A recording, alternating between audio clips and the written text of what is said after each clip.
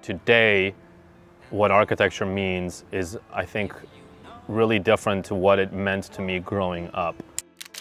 An architect is more than just a technical nerd that puts it all together, or like when people say, oh, you must have been good in physics or geometry.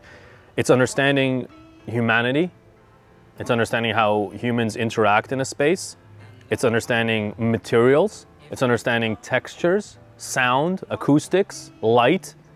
You put that all together and that's what architecture is. My name is uh, Dan Brunn and I'm an architect.